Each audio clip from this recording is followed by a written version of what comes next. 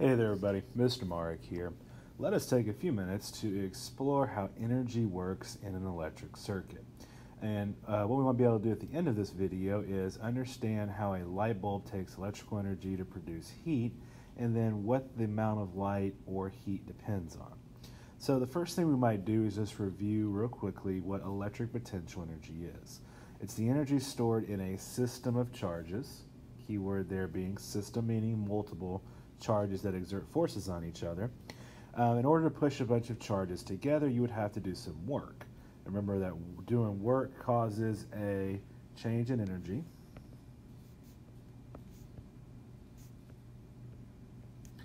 So as you do work on charges and you push them together, then you are giving them electric potential energy. And so when charges are far apart, they wouldn't have very much energy as you push them closer together, you're doing work. And so when the charges are close together, now they've gained a bunch of potential energy and they're pushing each other apart with a lot of force because they're close together.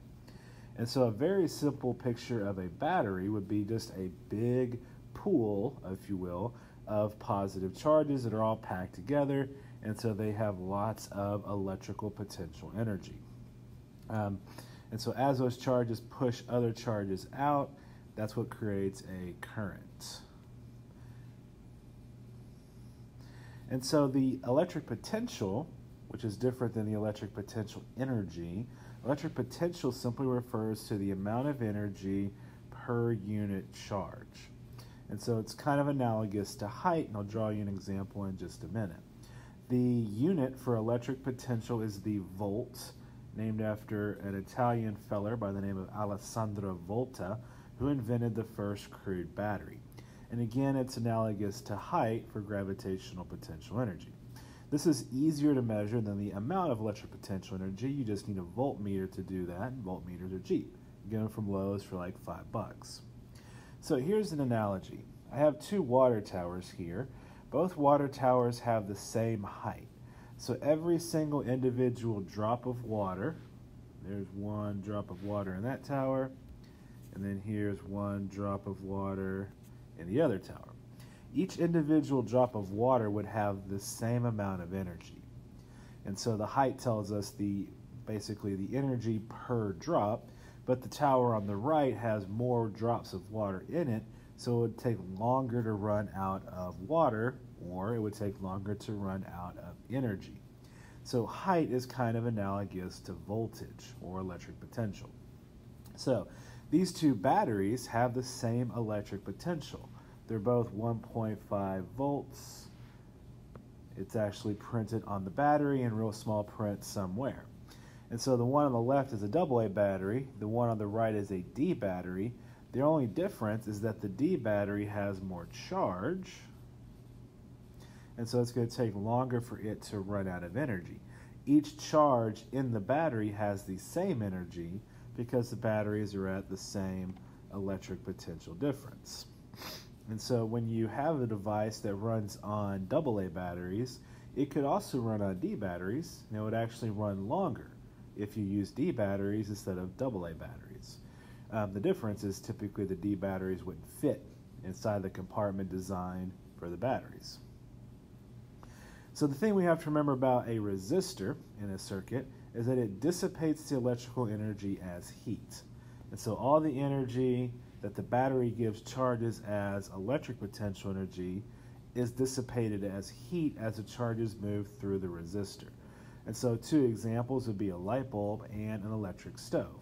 And those two um, examples get so hot that they start to glow.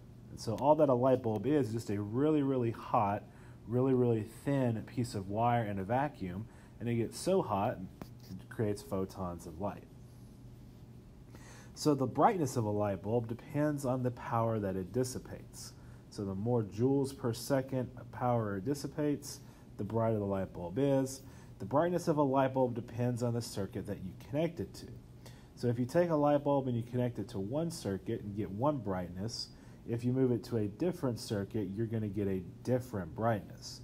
So when you go to the hardware store to buy new light bulbs and you look on there and it's like a 60 watt light bulb, that's only when it's connected to your standard 120 volt household outlet. if you were to connect it to a different um, circuit, you're going to get a different amount of light from your light bulb. And so we have a real simple equation for the amount of heat dissipated by a resistor. We just take the amount of energy from each charge, which is the electric potential, the V in the equation, and we take the amount of charges there are per second, which would be the current, or the I, in that equation. Multiply those together, and that gives us joules per second of power dissipated. So this would be in joules per second.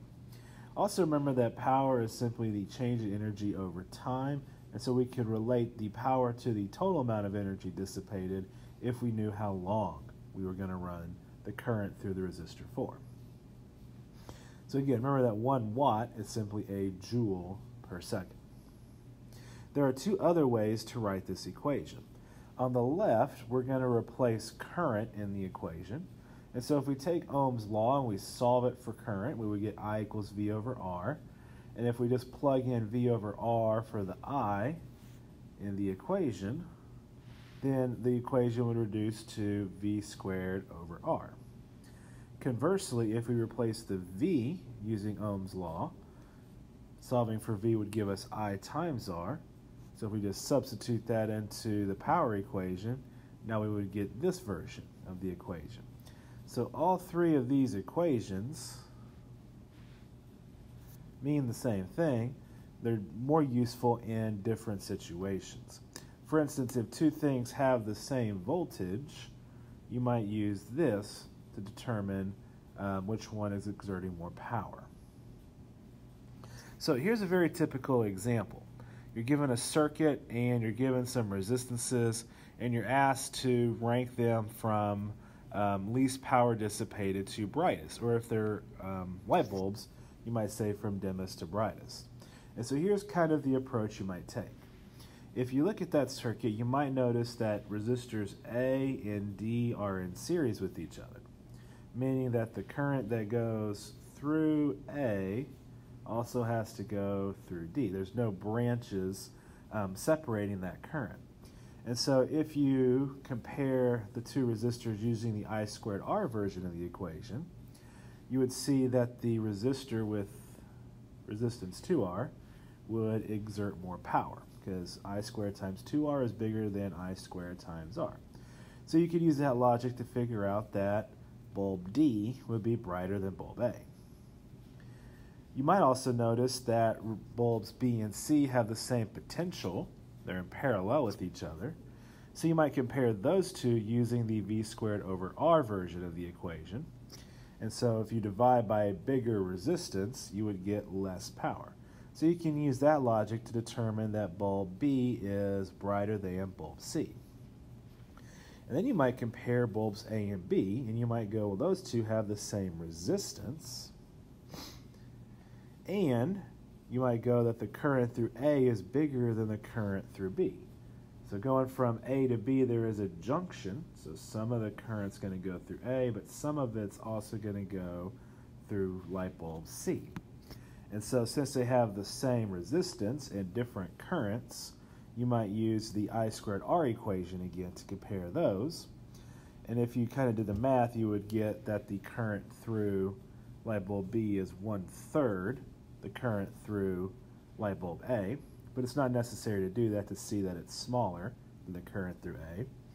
And from that, you can conclude that light bulb A is brighter than light bulb B, and then we could piece all three of those inequalities together into one solid answer choice.